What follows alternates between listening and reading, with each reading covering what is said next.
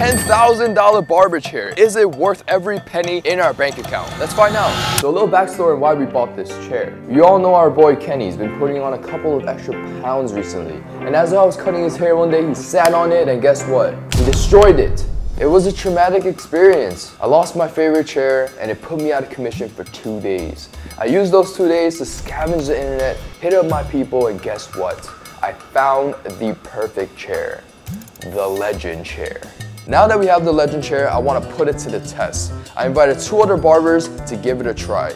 We're going to be blindfolding them today to see their raw reaction. Yo, I just got back, man. Don't worry, bro, I got you. Where you Just a little taking me, of a bro? surprise. Doing good, man. You know, woke up, ate some breakfast, got a blindfold on now, and here I am. It's almost there. I don't like surprises, bro. Please, bro. Yeah, you just take a seat right here, Right bro. here, bro, right here. Yeah. What do we have here? Yo, what's that commotion outside, man? You brought my girl? That's crazy. You know how to please me, bitch. Hell Yo! yeah. Oh, what is that? Sounds like they're getting pretty rowdy, man. Is it too late to back out? Get the fuck out of here. Who's that? Get the fuck out of here, bro. Yeah, just come take a seat, bro. What you mean I can't back out? Who the hell was that? Who sucker punched me? Is that you, Pete? You want these hands? Just let me know. Ah, there we Oh, go. wow. Oh, Larry. Come on, come on, brother. Let me walk you around. Why are you so nervous, bro? What you mean, bro? Someone just punched me. Couple more steps. Yo, what'd you get me, man? A new car, bro? I'm about to show you, son. Look. Let me let me see it. Let me see it. No way. This is one of those chairs, the legend chairs? Wait, hold up. Kind of nice, man. Is this one of those casting couch videos?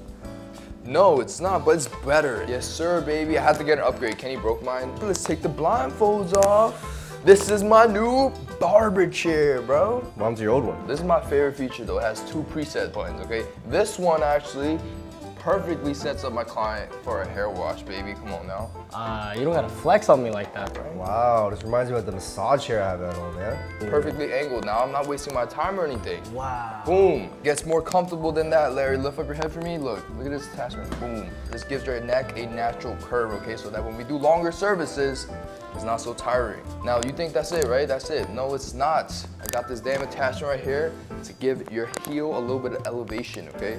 We're all about the ergonomics here. Trial run is done. Wow, I'm about to fall asleep, man. About to get one for the crib. So what you think, Tim? It's not bad. It's not bad. You know, I might have to sell my watch for one of these bad boys, So but the real question is, is it worth it? Oh yeah, yeah, definitely it's worth it. Oh shit. Hi. Woo!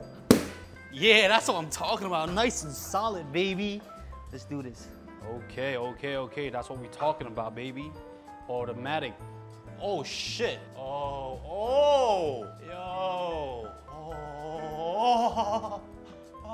Before you scroll away, we got some news for you. From March 6th to 8th, we have something special cooking up. We're hosting a three-day barber jam that's gonna include education, content, and business. So if you're going to be in New York, you don't wanna miss out on this. Make sure you repost this and tag another barber friend. We'll see you there.